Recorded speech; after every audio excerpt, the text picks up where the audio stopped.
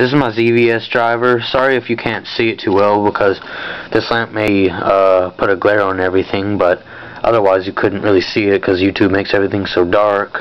But this is my ZVS driver circuit right here.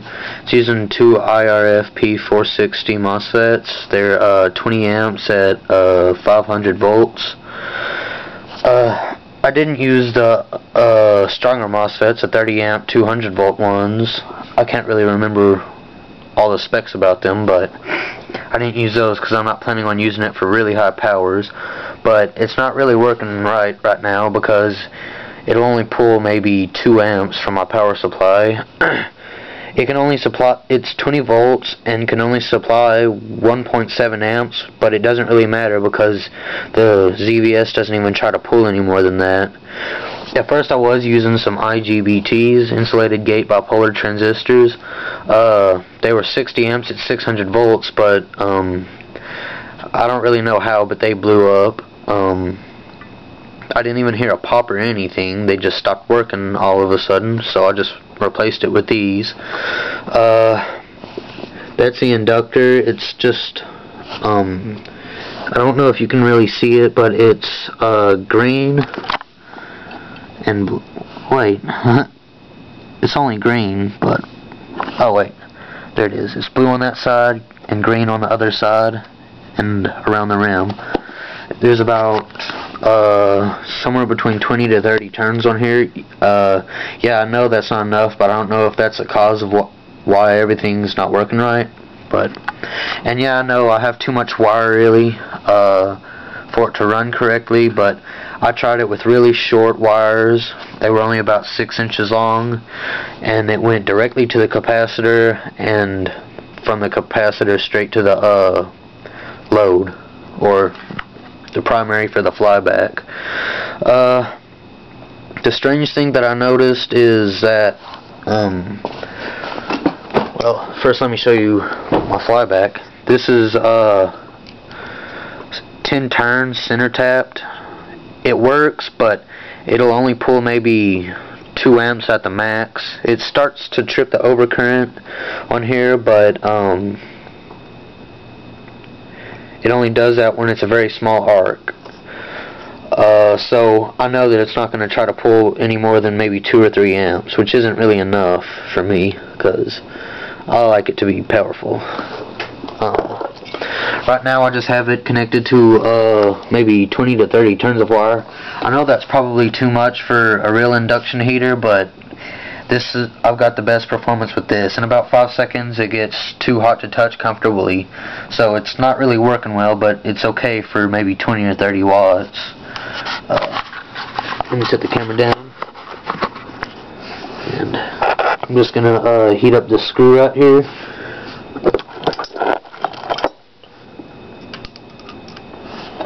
Alright, so now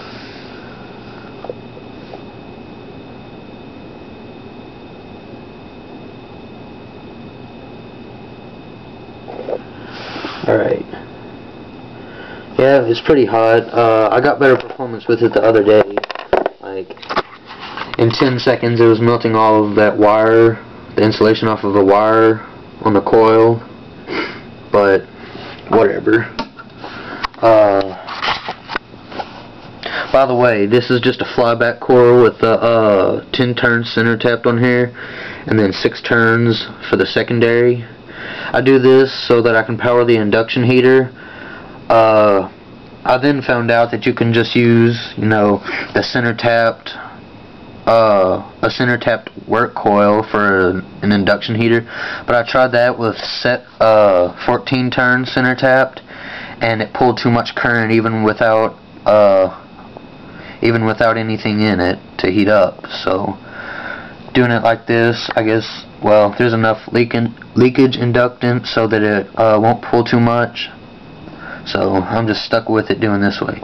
But for some reason, no matter what I do with the uh, flyback transformer, it just doesn't pull much current. Uh, I'm going to show you that now. I have to disconnect everything and connect it up to the primary on the uh, flyback. And I know that the flyback is good and I haven't burned it out on the ZVS or anything like that because I've uh, pumped a lot of power through it, about 200 watts, at very high voltage, like maybe 30,000 volts, probably even more.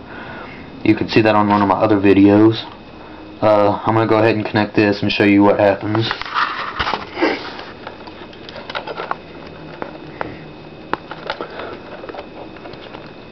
But I use alligator clips because they don't, they didn't really make the performance change in any way.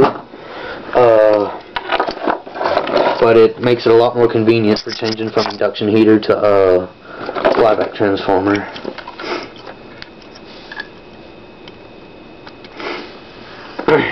It doesn't really change the performance at all.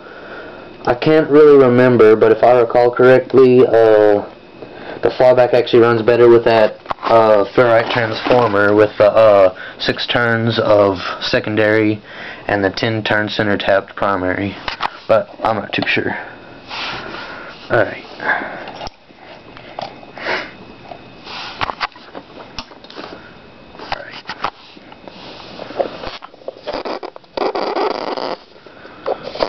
See, that's about all I get from it. They're a lot bigger in reality, but they're still pretty small. It's only about maybe three-fourths of an inch. All I know is that it's not quite an inch. And it's not really flaming hot or anything like that. It's just a thin purple arc. It's not thread-like, but it is thin. Uh, but something weird that I found out is if I short one of the internal primaries, the uh, voltage is less, but I get a lot higher current, which I don't really get why that happens. Those are flaming, but it's lower voltage.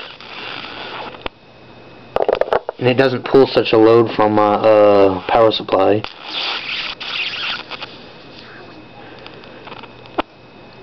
I don't get why shorting one of the primaries would uh, give it this effect, but I was just experimenting with it and found that out. Uh, this is my power supply.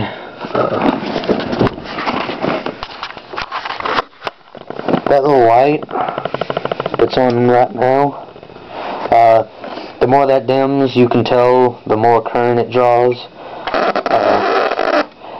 There that's um that's on but it's idle not drawing any arcs or anything. This is drawing a small arc. And as you can see it's uh, tripping it when I have a very small arc. You can see that the arc stops when it trips. But when it's a direct short as you can see it looks like it's drawing no uh, no current See, there's no difference. That's a direct short, and that's uh, no load.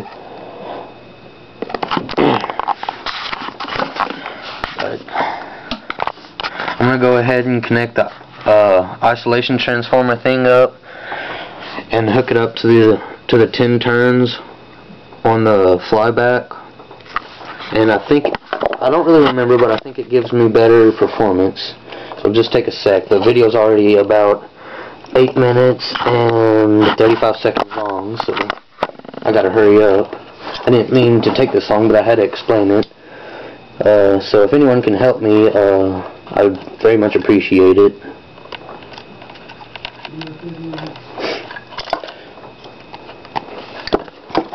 I could probably get somewhat better performance if I uh, had some better wiring, but I don't really care at this point because until I can get it to draw the amount of current that I want, I'm not going to really put any more time into it. Alright, I got the isolation transformer thing hooked up.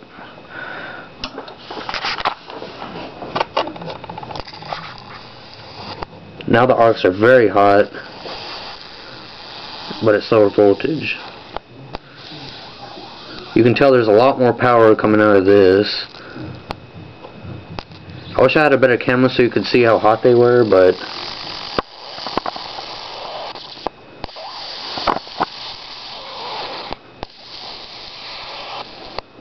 And this is a power supply again. Uh, this is with uh, longer arc. This long. And Okay, just a sec. That's directly shorted. That's drawing a small arc. So really it doesn't dim the light at all. But it gives me better performance. Just kind of melted the uh, stuff around the pin, so it's kind of smelling here now. I'm going to go ahead and end the uh, video with this. Uh, oh yeah, one more thing. Um, that's the circuit right there and that's a capacitor. I'm only using one of these. It's uh, the CDE 0.68 microfarad 1600 volt capacitor. It's overkill but I just want I don't have anything better so. Alright if you could help me out I'd appreciate it